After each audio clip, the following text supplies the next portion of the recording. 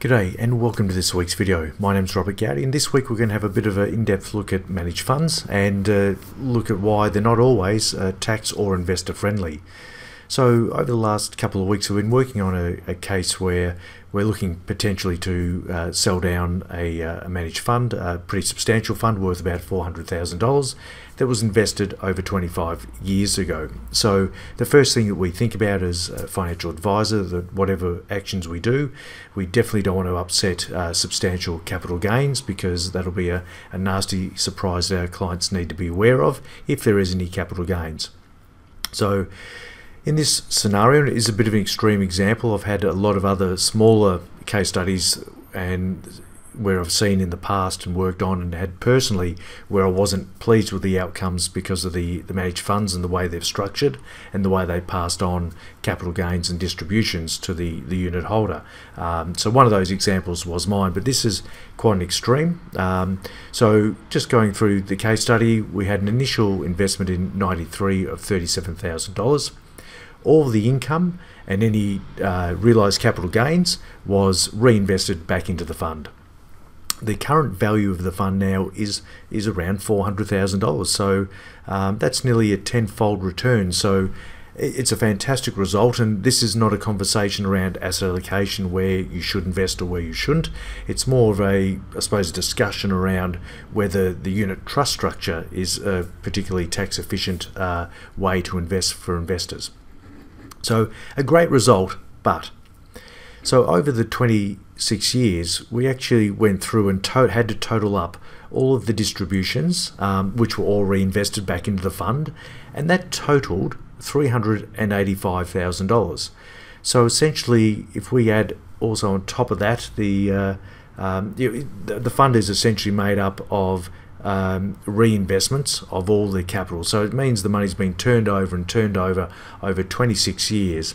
So what made up some of those uh, in early years were smaller amounts of money of distributions of income that the fund earned and as time went on there was amounts of money of 20 30 and 40 thousand dollars which would have been the realization of a lot of capital gains so that capital gains was realized um, and then reinvested back into the fund. But the income and the capital gains that was realised is at least their distribution that are taxed at the client's marginal tax rate. So if I assume um, you're on the total amount of uh, money that's income and distributed capital gains that have been reinvested in the fund of about uh, 385,000 at 20%, well, that's 77 grand uh, worth of tax that that client has had to pay out of their own pocket because all the money was reinvested into the fund um, over that 26 time frame, uh, 20 years, uh, 26 years. So not very tax efficient for the client, and that is because the fund manager um, is making decisions on when to buy and hold, um, and obviously when when to sell. And when they sell, they're often realizing these capital gains. Those capital gains have to be distributed out to the uh, to the uh, unit holders, the investors, uh, and that's where there's a, a tax element to that. Now, in the past, I've seen uh, some clients where this is going back probably about 18 years when I was pretty green at what I was doing, that at the start of June, say we invested $40,000 for a client. This is a real life example. And then that uh, at the end of June, uh, the fund manager distributes all the capital gains realized throughout the year. So unbeknownst to me at the time as a very young financial advisor that when we invested that client into the fund with only less than 30 days to go to the end of the financial year, they were actually inheriting all the capital, you know, the unrealized capital gains from the previous investors uh, that sit within the, the trust itself. So when they got their tax return from the fund and took it to the accountant, that affected the low income tax offset, it affected some Centrelink benefits, all for a fund that probably didn't grow at all over that time frame, but they just copped all the income and capital gains for that financial year at the end of June.